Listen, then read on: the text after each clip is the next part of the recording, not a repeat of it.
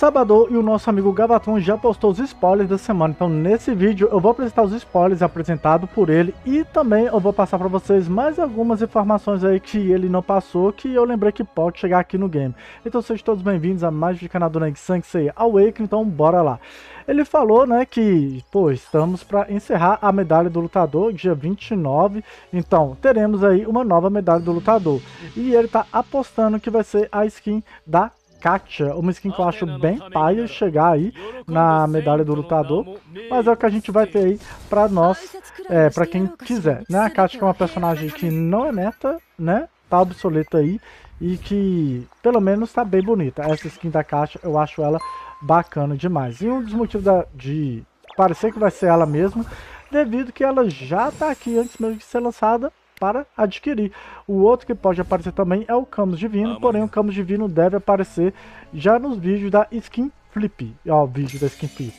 Evento de Skin Flip. Então ele já está aqui no pavilhão e ainda é um de base 15 né, XP, dando aí muito mais XP para sua conta. Ele não confirmou referente ao Camus Divino, mas como ele já apareceu aqui, podemos especular que ele pode aparecer numa Skin Flip, tá certo? Outro evento que ele citou que pode aparecer é o Resgate da Deusa, né? Missões extras para coletar umas recompensas bem meh, então hip demais é, esse lance aí de skins. Então é isso, galera. Sem skins gratuito no momento, sem anúncio do Ayori Divino, né? Que pelo menos no servidor chinês o Ayori Divino chegou com a skin gratuita. Vamos ver se vai chegar aí em algum momento a skin gratuita do Ayori pra gente. Falando em skin, foi lançado um vídeo, né? É, Sexta-feira, eu apresentei pra vocês, postei lá no meu canal de lives. Pra quem não viu, saiu a skin do Shura Divino, que a galera tá zoando o nosso amigão Shura pelo seu visual muito singular, né? Já que ele fica aqui com a sua tanguinha à mosca, com essa calça bem exótica, a lá excentricidade aí de, sei lá, Final Fantasy, por exemplo, me lembra muito essas coisas excêntricas.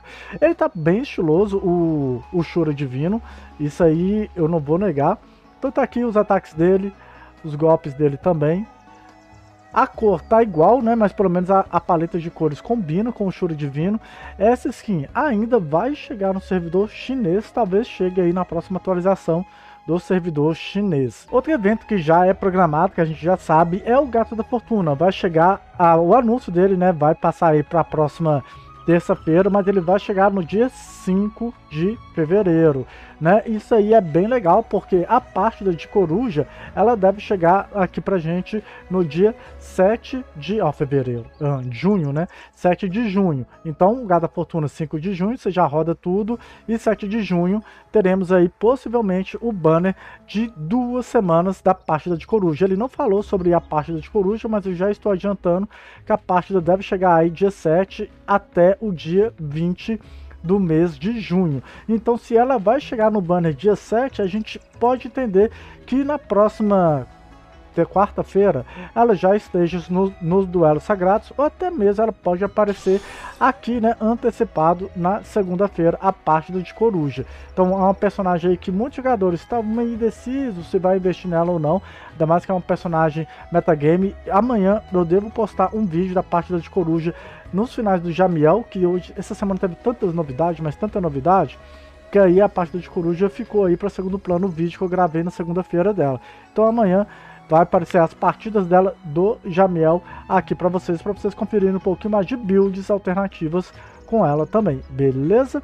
Então é uma novidade aí bem bacana pra galera avaliar se vai querer usar a parte de coruja ou não, ou se vai querer o nosso amigo Kaiser de Leão, que inclusive amanhã de manhã, ou seja, o próximo vídeo vai ser uma segunda impressão do Kaiser de Leão, onde eu vou mostrar o lado positivo do Kaiser. Eu falei, tava muito negativa, negativista, né, esse meu vídeo apresentando o Kaiser de Leão, realmente a minha primeira impressão dele foi muito negativa, refleti, vi mais vídeos, né, e aí eu tô vendo que ele pode ser um pouquinho melhor, e o Cax, ele postou mais vídeos também, então vai ser um react do Cax lá, ele jogando outras builds com o nosso amigo Kaiser, e eu pensei alguns combos e tal. Ele vai ter um vídeo falando um pouquinho menos ruim dele amanhã. Então vocês estão ligados, são dois vídeos diários, não esqueça de se inscrever, né? Para você ser notificado também ativando o sininho. Então a parte de coruja, eu já tenho análise dela aqui no no Duelos Galácticos, mas amanhã vai sair o vídeo dela no Jamiel, será o vídeo da noite, o Kaiser da manhã. E falando sobre o próximo banner, ele estava especulando sobre o personagem que tem muito tempo sem aparecer aqui, tá? É, por exemplo, o Oneiros tem muito tempo que não tem aí o seu banner, por exemplo, mas ele especula, não é oficial, que seja aí um dos personagens que receberam buff essa semana.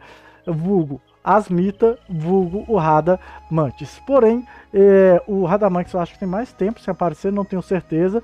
Pelo que eu entendi, parece que ele está chutando mais que vai ser o Radamantis de sangue divino. Então, é um personagem que muitos jogadores não investiram, não gostaram. Ele, depois do buff, ele tá bem mais legal. Eu até estou jogando algumas lutas aí com ele também. Mas é um personagem que ainda está muito atrás do Shura Divino e do Afrodite Divino, além do Cano e do Alone também. Mas ele não está sendo hoje uma unidade ruim como era anteriormente. Pelo menos o papel de DPS dele, ele está fazendo. Inclusive, todos esses vídeos aqui, caso vocês não tenham visto e queiram ver, todos eu deixarei nos cards aí para vocês também.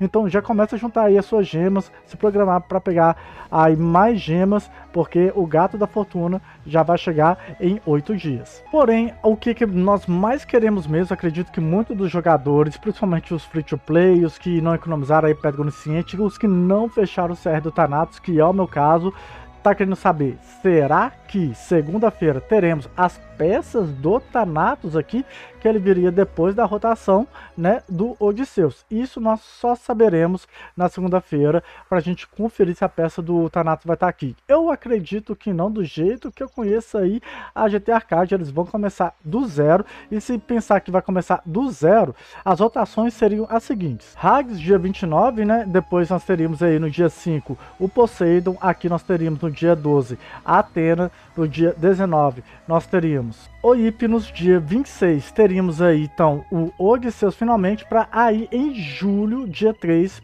termos aí então o Thanatos. Então vai ser o seguinte, o Thanatos vai aparecer na próxima segunda-feira, se eu não tiver errado os cálculos aqui, né, referente ao lançamento de personagens SS/X, e aí se eles resetarem tudo mesmo, e aí acrescentando o Thanatos, dia 3 né, de julho, nós vamos ter finalmente o Thanatos para nós liberarmos também, finalmente, para ficar redundante, a armadura do Thanatos, que obviamente eu estou muito hypado, estou cansado de perder um banimento, porque meio que o Thanatos é banimento fixo aqui na minha conta, tá certo? Então essa é uma informação que ele não confirmou, eu não vi nenhum datamine também entrando nos arquivos do jogo comentando que foi inserido o Thanatos nas rotações, né? Que se tiver inserido o Thanatos nas rotações, já conseguiríamos ter as imagens também. E não teve essa informação, pelo menos não divulgada aí por algum dataminer, beleza? Mas fica essa dúvida que aí a gente só vai saber mesmo na próxima segunda-feira se vai chegar o Thanatos ou não. Eu né, já vou com aquela expectativa bem baixa que não vai acontecer, mas obviamente adoraria ser surpreendido na segunda-feira com o Thanatos. Então galera, essa aí foi as novidades de hoje, os spoilers. Comenta aí se você gostou da, dos spoilers anunciados pela galera ou não. Lembrando que pode aparecer mais eventos, como troca limitada também, mas acredito que vai ser uma semana bem fraquinha mesmo.